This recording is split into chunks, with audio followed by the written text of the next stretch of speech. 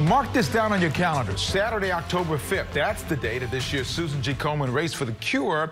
When we expect to see thousands of women, men, and children walking and running to raise money for Komen Research to find a cure for breast cancer. It is not too late to sign up or get a team together to be a part of this difference-making event. Hope you can make that. Here this morning to talk about the event and some of the ongoing research that makes Komen's success so important, Julie Voss, the Executive Director of Susan G. Komen Houston, and Dr. Valentina Hoyos, the Assistant Professor at the Center for Cell and Gene Therapy at the Dan L. Duncan Comprehensive Cancer Center, Baylor College of Medicine. Good morning to both of you. Good morning. Good morning. Full disclosure, I signed on as co-chair of this year's race along with the Komen board member Ellen Elam. So I have a vested interest in seeing that this race succeed. Julie, let's talk about this. This is the 29th annual event that this race has been going on. Let's talk about um, how the money raised is going to be spent on research. Sure, sure. So for every dollar raised, 75 cents stays here in Houston for local programs to help women and men mm -hmm. that are fighting breast cancer or for screening. Mm -hmm. But 25 cents of every dollar goes toward our national research program. Mm -hmm. And that funds cutting edge research across the country. But we are so fortunate here in Houston to have the Texas Medical Center and to have some of the best and brightest researchers across the world. So mm -hmm. quite a bit of that comes back here. And I know that one of the goals is to reduce breast cancer deaths by 50% in the United States by 2026. And that is a big, big goal based upon our the history of cancer.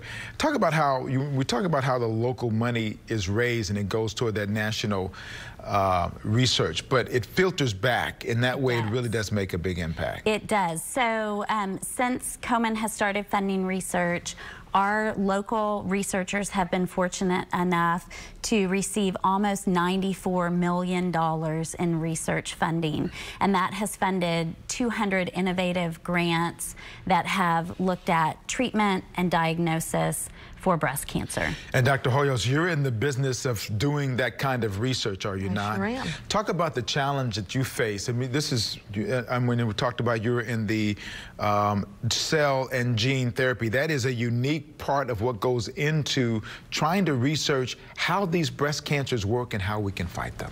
Yes, so actually, my research focuses on um, trying to make the immune system attack cancer using the patient's own cells. That's why it's cell and gene therapy. So we take T cells from the patients and we train them to attack cancer cells and then give them back to the patient. And this is translational research we, because we take what has been already discovered and try to make it into new therapies to be able to treat patients. Every time I hear about this sort of thing, it is really amazing to me about how this works.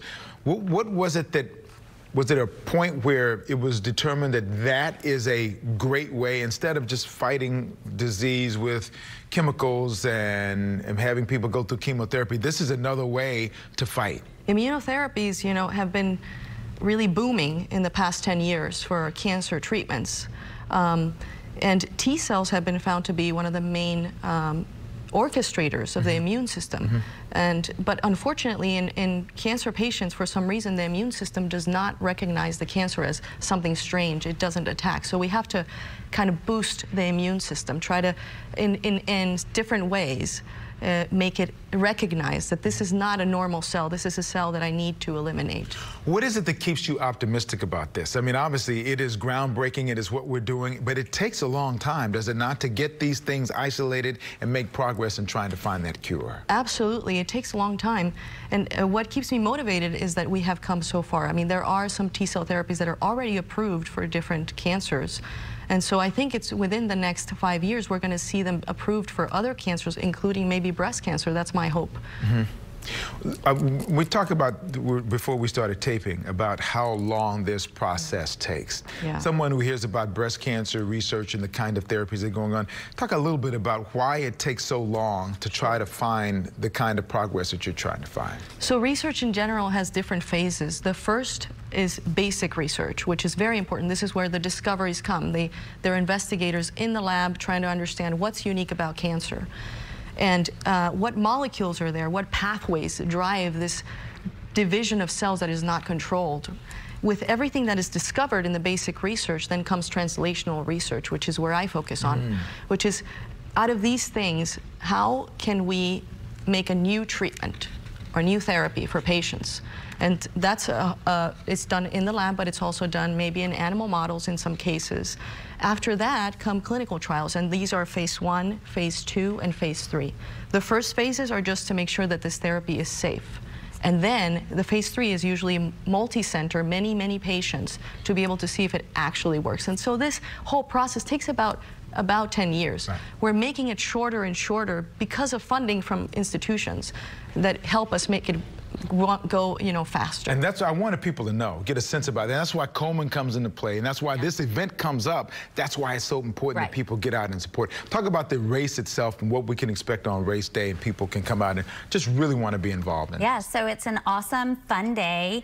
Um, you can come out, you can register even the day of the race. Registration will open at 6, and then the race starts at 8, and then it's really just a very fun party atmosphere. We're expecting about 10,000 1,000 participants and then their families and friends. So it'll be a big crowd, um, lots of survivors that are all, you know, walking and running to show that they have beat breast cancer, women who are fighting breast cancer and their supporters and families.